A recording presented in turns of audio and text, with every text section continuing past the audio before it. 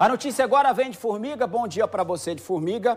Um homem foi morto a tiros ontem à noite no bairro Alvorada. A moto usada no crime, ela é de um bombeiro militar e foi roubada no mês passado. Vamos ver os detalhes aí e desde já agradecer nosso parceiro Flaviano Costa, que vai nos ajudar a contar essa história aí que aconteceu ontem à noite no bairro Alvorada, lá em Formiga. Confere aí.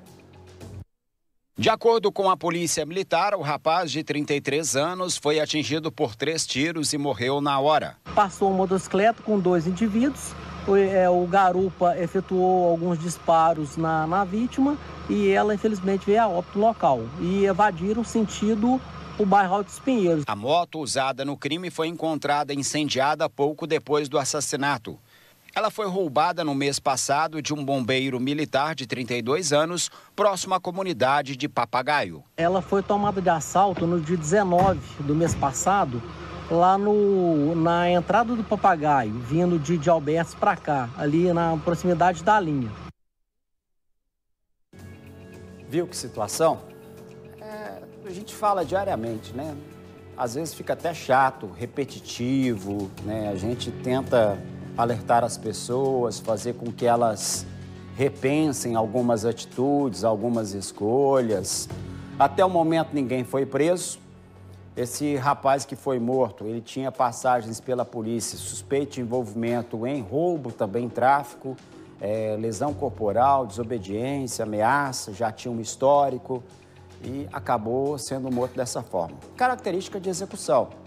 Agora, é a polícia trabalhar, a moto foi queimada, né?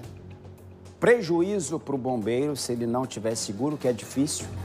Raramente alguém faz seguro de uma moto. E roubam moto também diariamente. Quando não furta, assalta, para e leva. Aí é pior, porque pode inclusive atirar no dono da motocicleta, que fica no prejuízo, que fica com essa sensação de segurança, mesmo sendo um militar. Às vezes pode até ser pior, porque o bandido, o sem vergonha, o criminoso, quando vê que é um militar, às vezes vai fazer covardia com ele, mesmo ele não estando em trabalho. Né? Às vezes está no momento de folga, mas descobriu que é militar, vai fazer covardia. De toda forma, a moto, agora a polícia tem algumas coisas já, já sabe mais ou menos a região onde ela foi abandonada, porque malandro não quer andar muito você pode ter certeza que devem ser da região, porque senão teria abandonado em outro local um pouco mais distante. Mas malandro quer saber de facilidade. É ali da região. Então vão ver.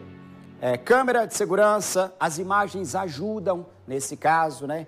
E a gente tem mostrado inúmeras situações que os bandidos são identificados por meio de imagens, as pessoas fazem as denúncias e eles acabam sendo presos. Tomara aconteça desta forma.